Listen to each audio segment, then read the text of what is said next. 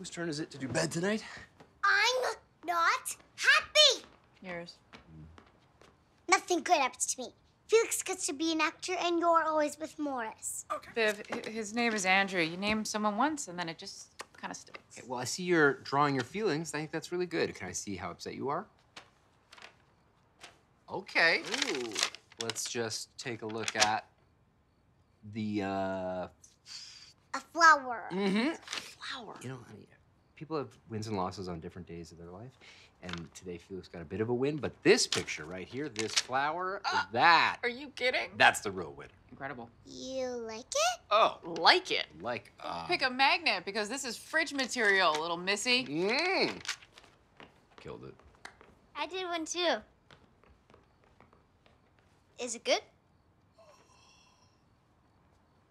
Oh my god, that, that is Beautiful, excellent, beautiful, excellent job. beautiful. Stunning. Maybe I should give this one to Nanima, so she can remember me. Nanima didn't quit being your grandmother. She quit being helpful. Remember when she always used to hide chocolates for us? Yeah, that was yesterday, oh, I but do remember that. that's the reason why your sister stayed up till eleven.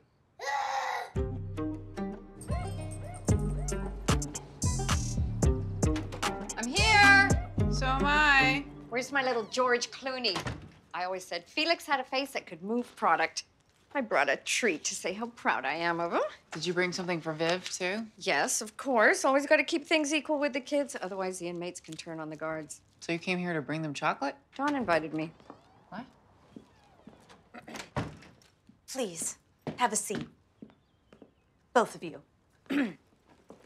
now, it's been brought to our attention that you have some concerns about the work environment, She brought it to our attention. and we do thank her for that. Thank you, Mother.